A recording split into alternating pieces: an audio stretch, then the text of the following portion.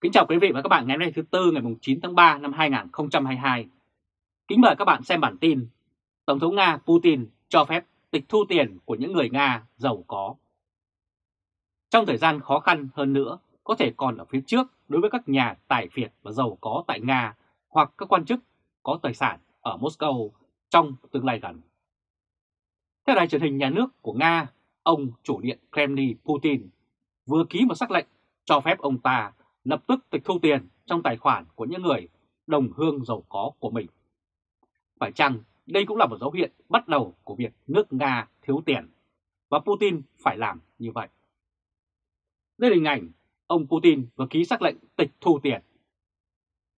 Điều kiện là phải chứng minh được số tiền tịch thu là bất hợp pháp. Tuy nhiên, việc này không hề khó khăn với các nhà tài phiệt và các quan chức giàu có có đầy những lý do để làm việc đó. Theo kênh truyền hình nhà nước, Tổng thống Nga Vladimir Putin đã ký một đạo luật cho phép tịch thu tiền của các nhân viên nhà nước trong một số điều kiện nhất định. Tiêu chí cho quyết định này là số tiền gửi ngân hàng của những người bị ảnh hưởng cao hơn thu nhập chính thức, được công bố trong 3 năm qua tài sản được tích lũy và bất hợp pháp. Tất nhiên, con số này còn rất nhiều vì tài sản của họ rất lớn, cần phải kiểm tra, nhưng điều đó sẽ làm cho các quan chức của Nga lo lắng. Dường như đây là một biện pháp để Tổng thống Nga Putin thu tiền về cho ngân quỹ trông rỗng. Hiện nay, Nga đã bị trừng phạt rất nhiều sau khi xâm lược Ukraine. Liên minh châu Âu trước đó áp đặt các biện pháp trừng phạt đối với hơn 500 cá nhân và tổ chức bị cáo buộc thân cận với ông chủ điện Kremlin, đó là Putin. Tài sản của họ ở châu Âu sẽ bị đóng băng nếu chúng có thể được xác định vị trí và liên kết với các chủ sở hữu bị trừng phạt này. Điều này cũng dễ chứng minh khi các chủ ngân hàng có thể xuất tiền mua cho các nhà tài phiệt những tài sản rất lớn ở đây. Đây là hình ảnh siêu du thuyền trị giá 540 triệu đô la của tỷ phú Nga tại Đức đã bị tịch thu. Hoa Kỳ cũng áp đặt các lệnh trừng phạt đối với các nhà tài phiệt Nga vì cuộc chiến tại Ukraine. Nhà Trắng vào hôm thứ Năm cũng đã công bố các biện pháp trừng phạt tài chính đối với 7 nhà tài phiệt lớn trong đó có tỷ phú Alisher và người phát ngôn Điện Kremlin Dmitry Peskov. Đồng thời, chính phủ Mỹ cũng áp đặt lệnh cấm nhập cảnh đối với 19 nhà tài phiệt với tổng số 47 thành viên gia đình hoặc thân tín. Anh Quốc cũng đã tham gia các hành động này của châu Âu và Mỹ. Như vậy, toàn thế giới cũng đồng hành trừng phạt Nga khi xâm lược Ukraine. Phó Thủ tướng Dominic Raab cho biết cũng sẽ tịch thu tài sản nếu có cơ sở pháp lý. Kính mời các bạn xem bản tin Việt Nam có hề ấn gì khi Nga bị đẩy ra khỏi hệ thống SWIFT của ngân hàng. Theo các báo cáo từ Trung tâm Nghiên cứu thuộc Công ty Chứng khoán Việt Nam Direct, chuyên nghiên cứu về tình hình đầu tư kinh doanh được công bố hôm 28 tháng 2, Việt Nam có chịu tác động nhất định khi Nga bị loại khỏi Hiệp hội Viễn thông Tài chính Liên ngân hàng toàn cầu SWIFT vì đã phát động cuộc tấn công xâm lược vào Ukraine.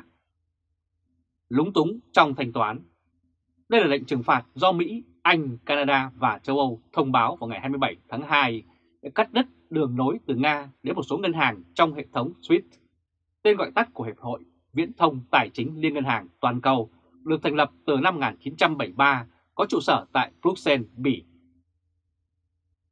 Đây là hình ảnh trụ sở Ngân hàng Trung ương Nga ở Moscow SWIFT được kết nối trên 11.000 tổ chức tài chính tại hơn 200 quốc gia và vùng lãnh thổ để thông báo cho các ngân hàng về các giao dịch tài chính của mình.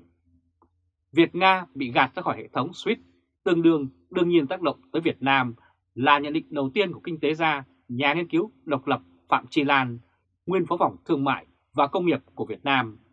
Bà nói như sau, Việt Nam phải hứng chịu những tác động như nhiều nước khác có quan hệ kinh tế với Nga một số doanh nghiệp cũng đang làm xuất nhập khẩu với Nga cũng rất lung túng về cách thức để thanh toán giữa hai bên. Nếu thanh toán mà nghẽn thì rõ ràng là quan trọng của hệ thống thương mại không thể kéo dài bình thường được. Và tác động có nhưng nhiều thì không chính xác là khẳng định của chuyên gia bên ngoài. Tiến sĩ Khương Hữu Lộc, giáo sư ngành thạc sĩ MBA, giám đốc tài chính cho nhiều công ty Mỹ với lợi tức trên 1 tỷ đô la nói rằng Việt Nam và Nga tương tác về thương mại thực tế không nhiều. Nếu cộng Nga và Ukraine chung vào nhau thì Việt Nam tương tác trực tiếp với hai quốc gia này chỉ khoảng 1% GDP mà thôi. Đó là những dự án về xây cất, những dự án về dầu khí tại Việt Nam do Nga. Việt Nam cũng đã mua những tiềm thủy đĩnh, tức là tàu ngầm của Nga. Một khi đã mua vũ khí của Nga thì phải tùy thuộc vào phụ tùng và phụ thuộc của họ vào bảo trì, tinh vi, lâu dài. Việc thanh toán tiền sẽ không còn dễ dàng nữa, không thể thanh toán qua nhà băng Code Street chỉ nhắn một cái thì 30 giây sau bên Nga có thể nhận được tiền. Đây là hình ảnh SWIFT được xem là xương sống của hệ thống chuyển giao tài chính quốc tế. Một giả thiết có thể xảy ra trong trường hợp Nga bị cấm vận. Tiến sĩ Khương Hữu Lộc giải thích rằng Việt Nam vẫn có thể trả tiền qua hệ thống nhân dân tệ. Hiện tại Trung Quốc đang rất mong muốn tiền của mình và dịch vụ giống như suite của họ được sử dụng nhiều hơn. Thành ra nó sẽ làm khó khăn nhưng nó không hoàn toàn tắc nghẽn. Vào năm 2012, Iran là nước bị cắt kết nối khỏi SWIFT vì chương trình hạt nhân của nước này. Lúc bấy giờ, Iran đã mất tới 50% doanh thu xuất khẩu dầu mỏ, 30% mậu dịch với nước ngoài. Việt Nam trong bối cảnh Nga bị cắt đường kết nối với SWIFT nên được hiểu như thế nào là câu hỏi đặt ra. Giải thích vấn đề này, tiến sĩ Khương Hữu Lộc cho biết nhìn nhận của ông như sau. Khi SWIFT bị siết chặt thì tất cả những dự trữ ngoại tệ của Nga dựa trên đồng USD cũng bị mất giá. Đồng rúp của Nga như trước đây đã tan chảy rất nhanh, mất giá rất nhiều. Việt Nam nếu tương tác với Nga bằng cách trả bằng đồng tiền Việt Nam và Nga trả lại bằng đồng rúp mà đồng rúp không còn tin tưởng nữa thì mọi việc sẽ rất dườm già. Có thể phải đổi qua đồng tiền của một quốc gia trung gian nào đó và chuyển qua một kênh trung gian khác. Nó làm cho thương mại rất khó nhưng không có nghĩa là không làm được. Đó là lý do mà Iran, Bắc Hàn trong quá trình quá khứ bị Hoa Kỳ phong tỏa hệ thống SWIFT thì họ vẫn có những cách và họ vẫn sống được. Đây là hình ảnh người biểu tình ở thủ đô Berlin, Cộng hòa Liên bang Đức kêu gọi loại bỏ Nga ra khỏi SWIFT và sau đó thì việc này đã được thực hiện. Vấn đề là ở đây Nga có sống đủ để tiếp tục chiến đấu và chiến tranh với Ukraine không để bị lệ thuộc vào một nguồn. Việt Nam Direct dẫn lời các chuyên gia rằng lệnh trừng phạt Nga bao gồm cả việc chặn kết nối SWIFT với hệ thống tài chính Nga sẽ ảnh hưởng đến các dự án đầu tư của Nga tại Việt Nam, phần lớn là các dự án điện và dầu khí. Điều này được bà Phạm Chi Lan phân tích tiếp như sau. Tôi không biết các tổ chức liên quan, cả phía nhà nước lẫn công ty hay ngân hàng sẽ làm thế nào, nhưng mà tôi tin chắc là cũng sẽ có cách thôi. Và lại cũng phải thấy quan hệ dầu khí giữa Việt Nam với Nga cũng đã giảm đi rất đáng kể trong những năm gần đây. Nếu tính về tỷ trọng của dự án đầu dầu khí như Việt Sô Petro trước đây thì đóng góp của nó vào kinh tế Việt Nam ngày càng giảm xuống. Và bây giờ nó chỉ ở mức vài ba trăm phần trăm đóng góp vào ngân sách thôi chứ không lớn như trước đây nữa. Và đó cũng là điều may của Việt Nam là đã phát triển được rất nhiều nguồn khác, tăng quan hệ hợp tác với các kênh khác và có những dự án riêng của mình. Thí dụ như ngay cả những dự án về lọc dầu chẳng hạn, tất cả những kênh khác nhau cũng đã giúp cho Việt Nam không bị lệ thuộc vào Nga nhiều về mặt dầu khí. Đây là hình ảnh Chủ tịch Ủy ban châu Âu Ursula von der Leyen tại phiên họp thượng đỉnh bất thường của châu Âu tại Bỉ hôm 25 tháng 2 để bàn về các biện pháp trừng phạt của Nga và sau đó đã được tung ra những gói trừng phạt ghê gớm. Điều này khác so với các nước châu Âu mà vẫn phải nhập khí đốt của Nga rất nhiều. Tuy nhiên, cho dù người ta phụ thuộc tới hơn 30% mà người ta vẫn vượt qua được thì một tỷ lệ nhỏ bé vài ba phần trăm của Việt Nam cũng vượt qua được thôi. Cũng theo thông tin từ Việt Nam Direct, dự án nhiệt điện Long Phú 1 do Power Machine của Nga làm tổng đầu tư đang chậm kế hoạch vài năm do vướng lệnh cấm vận. Kế đó là dự án điện gió ngoài khơi Vĩnh Phong với liên doanh Sabrogenes của Nga và của Bỉ đã ký biên bản ghi nhớ từ tháng 4 năm 2021. Ngoài trừ dự án điện khí Quảng Trị, hai dự án Long Phú 1 và Vĩnh Phong đã đưa vào dự án quy hoạch điện 8. Trong khi Vĩnh Phong vẫn chưa được khởi công thì dự án Long Phú 1 đang rơi vào bế tắc vì vẫn chưa thể lắp đặt được thiết bị. Đối với tiến sĩ Khương Hữu Lộc, những điều đó không đáng lo ngại bằng việc giá xăng dầu trên thị trường nội địa tăng rất cao và e rằng sắp tới mọi thứ còn lên nữa.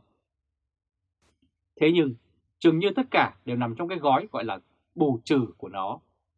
Việt Nam xuất khẩu dầu hỏa nhưng không đủ tiêu thụ, giá dầu xăng và dầu hỏa tăng ảnh và ảnh hưởng rất mạnh đến kinh tế Việt Nam. Nhưng vì sao không ngại là vì kinh tế chưa trở lại mạnh, lạm phát chưa tới 4%. Nhưng khi kinh tế Việt Nam trỗi dậy lại như Hoa Kỳ và các quốc gia khác mà lại bị áp lực từ sự gián đoạn cung về dầu khí, dầu hỏa của Nga thì chắc chắn lạm phát sẽ tăng. Đây là hình ảnh một tòa nhà bị pháo kích. Điều này thì châu Âu cũng bị nặng nhất, Hoa Kỳ cũng bị ảnh hưởng như Việt Nam thì không đến nỗi nào. Việt Nam có cái bù trừ, thứ nhất là những công nghệ như đã có, rồi phân bón hay cả thép nữa thì Việt Nam sẽ có cơ hội sản xuất và xuất khẩu nhiều hơn. Giá thành sẽ tăng và khi tăng thì quốc gia sản xuất có lợi, nhưng bù trừ lại là nó lạm phát rồi giá xăng dầu cho công nghệ của Việt Nam tăng thì giá cả cũng tăng theo. Cũng đã có dự kiến là giá cả tăng mà lạm phát không tăng bao nhiêu là giải thích tiếp theo của kinh tế gia như sau. Ngược lại, những công trình lớn tùy thuộc vào Nga sẽ bị gián đoạn, những công trình xây cất sẽ không hoàn thành trong thời gian dự tính. Đại khái tác động âm nhiều hơn nhưng không ngại vì tương tác với Nga và ngay cả với Ukraine không nhiều, chỉ có 1% GDP mà thôi. Trung tâm Nghiên cứu Việt Nam Direct vẫn duy trì dự báo lạm phát của Việt Nam vào năm 2022 được kiểm soát ở mức 3,4%. Việt Nam đã học được bài học không thể để mình lệ thuộc vào một nguồn, bà Phạm Chi Lan đồng thời khẳng định rằng Việt Nam đã đa dạng hóa, đã phát triển quan hệ thương mại với nhiều nước. Nền kinh tế hiện nay với các doanh nghiệp nhà nước lẫn tư nhân đã trưởng thành về nhiều mặt, nên dù các tác động tiêu cực đi chăng nữa thì Việt Nam vẫn có thể chống chọi được.